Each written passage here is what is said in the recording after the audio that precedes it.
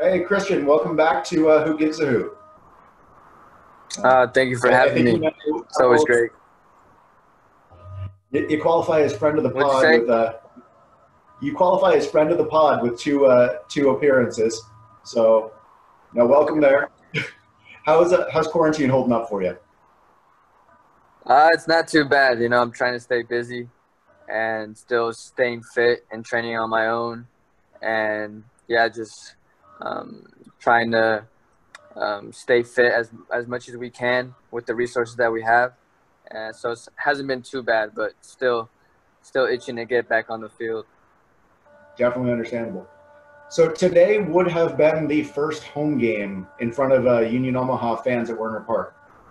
What is something you do preparing for games uh, normally, especially you know that first game of a season? Uh, so I usually just try to relax and not think about the game too much before um, some games or most games. Uh, just like relax and keep my head cool and not really do much. You know, if it's a home game, you know, wake up and uh, have like a good breakfast and just uh, chill before the game. Not much else. Maybe like roll out, stretch. Um, but really nothing i don't really have like a routine or anything or or something that i do before every game i just try to keep my my mind cool and and then when the game comes like kind of like a switch it's just it turns on and yeah Nice. Is there any breakfast that you go for over another? uh specifically on game days or just in general Oh, in, in general, I guess. But game days, uh, game days if you have one. Uh, well, I really like pancakes, and um, I'm pretty good at making them. So I I like making pancakes, and I like oatmeal as well. You know, just add peanut butter, and um, it's really good. So I usually those are kind of my main my my main go tos, especially like on game days. I'll probably like cook that up, or you know anything else that I'm feeling that day. Well, you know, uh, pancakes are definitely one of my favorites. So I, you, you're preaching the choir here. Um, so how how's the chemistry been working for um, for everyone off the field?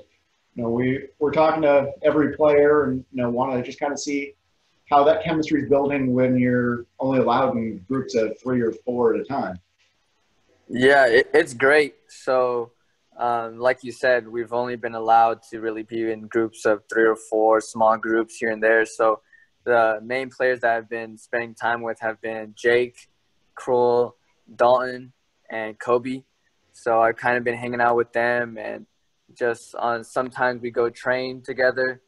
Um, sometimes we just, uh, you know, hang out at, at, at our apartments.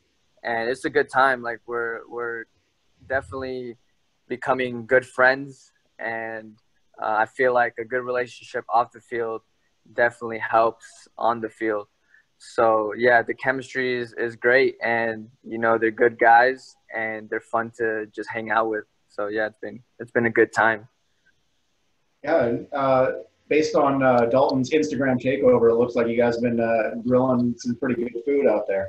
We're gonna have to bring you to the tailgate uh, once we get going. Uh, fire up some steaks for us. Yeah last night we grilled uh, some burgers and chicken. So yeah it was really good. And yeah those tailgates i bet they're gonna be like super fun. So it would be nice to like see it. I don't know if we'll be a part of it because we're preparing for the game but it would it would definitely be We'll have to fun. to post be out there yeah. No, all no. Thanks for taking a, a little bit of time out of your day. Um, you know, make sure you're staying staying sane, staying healthy. Uh, you know, keep keep fit, and we expect to see you out there winning some games soon. yeah for sure definitely. And you know you as Uh, well stay safe. No problem. Have a great day